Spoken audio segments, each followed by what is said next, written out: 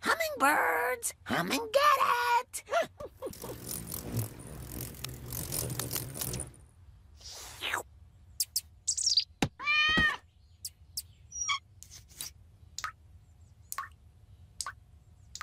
Homie, the faucet is dripping. I'll get right on it. Homer, when are you going to fix this faucet? I'm on it. Are you going to fix the faucet or not? For the third time this year, yes. I'll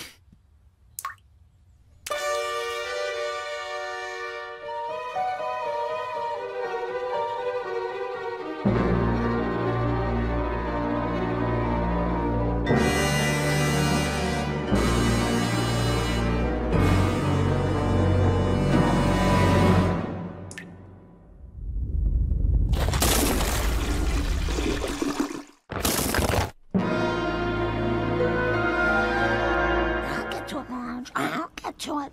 When we first got married, it'd only takes six months to do things. Mom, how come you didn't do my homework last night?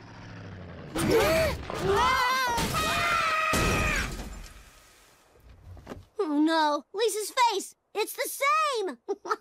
Everyone, relax. I think I've got an emergency sinkhole kit in here somewhere. Mm. Mm. Ooh.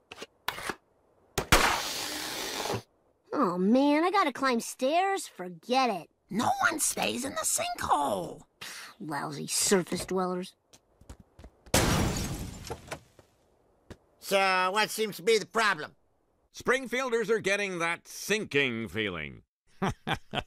As the dangerous sinkhole continues to expand. While this sinkhole is larger than the Sarlacc pit which swallowed Boba Fett, it is smaller than the Geonosis battle arena where Jango Fett was beheaded by Mace Windu. Weren't those two places about the same size? I didn't know this was an ambush. Uh, you know, in this town you learn to adjust to things. Runaway monorails, NASCAR star Jeff Gordon. Hey, Moe. Hey, bet we never see him again. I'm gonna call it a day, Moe.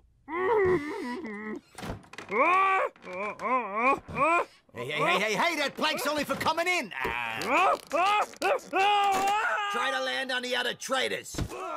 People of Springfield, please, be cool, like Lou. Yo.